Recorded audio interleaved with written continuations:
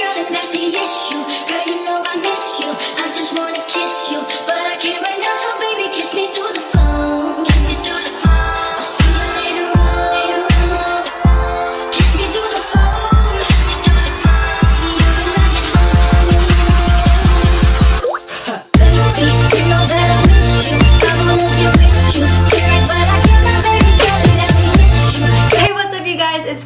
welcome back to my channel. Today I have a special video for you guys because a lot of you guys request this on my Instagram and I'm like gotta give the people what they want. So here is my how I edited my Instagram pictures 2016. Without further ado, let's get started.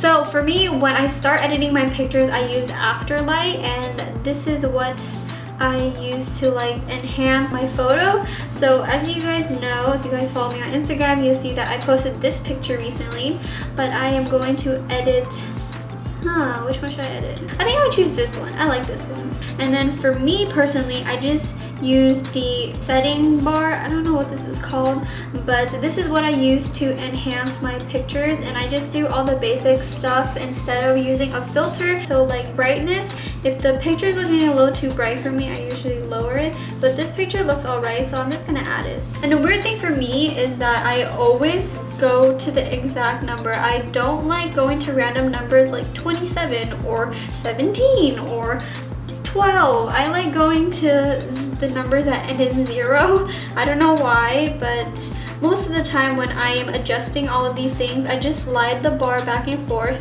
to see what will look best and then I just round up or round down. So next is saturation. This picture already looks a little saturated, so I'm gonna go to five. And sometimes I'll accept five. And then exposure.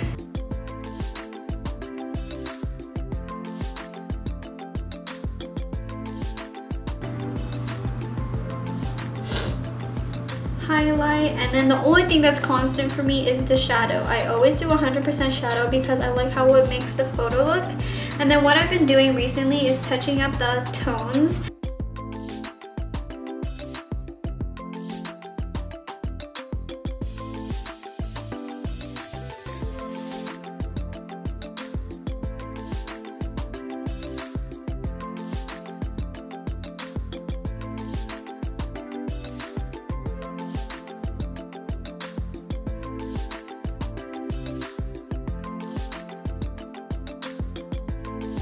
and then I click done and then I save the photo. So now that I've shown you guys how I edit my Instagram pictures, like how it looks wise, I'm gonna show you guys a few more tips and tricks. So I was scrolling through my Instagram and I saw this picture I posted last year and it has the Disney castle overlay in the background and I want to show you guys how to do that because a lot of you guys had questions. So I'm gonna show you guys how to do that. And another thing I want to show you guys is how to add text to your photos. So if you want to add a watermark like I have on my arm in this photo, or if you guys want to put some text on there to customize your pictures, these tips and tricks is basically just how to make your picture more you, and if you want to make it more cute and like add a bunch of things, then definitely use these things I'm about to teach you. So whenever you do this, you want to add a cute or like any picture you would like to your photo, right? And you want to go to Safari and type in what you want to look for, and whenever you look for something, you don't necessarily have to write overlay. The most important part about it is writing transparent or PNG. So I'm gonna go into the internet and I'm going to look for some cute dog pictures because I love dogs. So I'm gonna write dog transparent. And then I see a bunch of these pictures. Oh, this dog.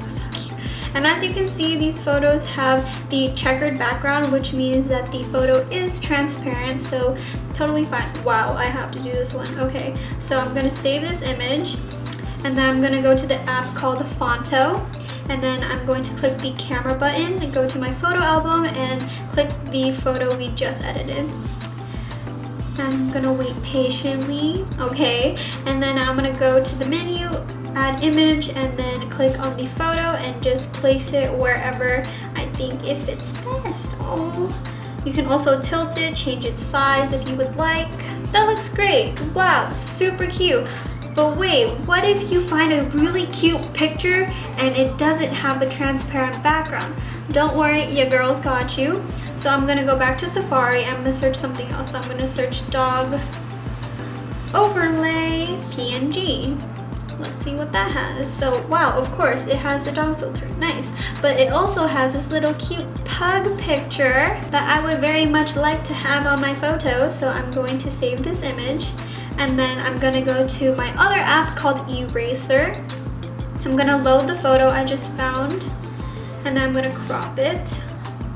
Then I'm gonna go to the eraser, step two, eraser, and it automatically sets you on the setting auto, and then you're going to just tap the white background and it totally disappears. Just letting you guys know that sometimes this doesn't work all the way because like if you want to use color that might work better but in this case when you tap the background a lot of the whiteness disappears but don't worry if this ever happens you can click the button repair and then you can just color it back in. The automatic or color setting doesn't really do any good so you want to go to manual and then manually erase it yourself. So in this case, since auto worked really well, I'm just gonna use auto, click done, and the last step is to save it as a PNG transparent. Now I'm going back to Phonto and I'm going to add the photo we just made transparent and I'm going to add an image and I'm going to add the pug we just made transparent. I want to have it sitting in front of me because it's so cute. It's my little baby. Aww, that's so cute. Now we're getting down to the last step, which is adding a watermark or text. So I don't really do watermarks anymore, so I'm just gonna add a title because cool. So I'm gonna put Kim plus the dogs equal yay. So this font is pretty hard to read, so I'm gonna go to the font button and I'm gonna look at all of the fonts I favorited. But then again, they give you a bunch of options as for fonts and you can honestly get lost in this font book because there's so many to choose from. And this is too small, so I'm gonna make it bigger. And wanted to fit the photo.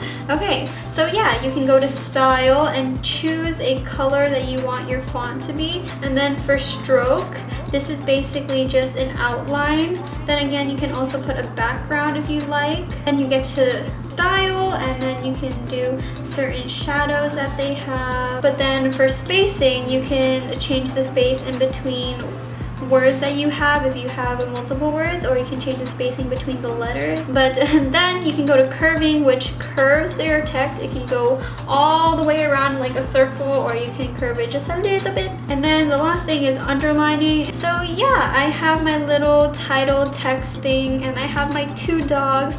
So all you want to do now is save the image and then you can go to your photos and look at the picture that you just created. Look at the picture we just made, guys. This is so cute.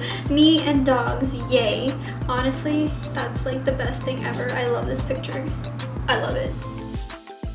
So you guys made it to the end of my video, or at least I hope you guys did, because I don't know, maybe this video was really long, maybe it was really short. I'm not sure. So I hope you guys enjoyed this video and found it really helpful and, and I hope that you guys are gonna apply these tips and tricks that I showed you guys about photo editing and all that stuff to your own photos because this is a really cool way to customize your own photos and make them more you and make them more cool.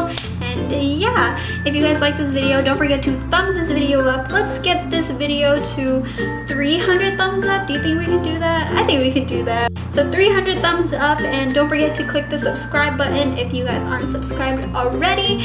And yeah, I hope you guys had an amazing day and I will see you in my next video, which is next Sunday. So yeah, bye!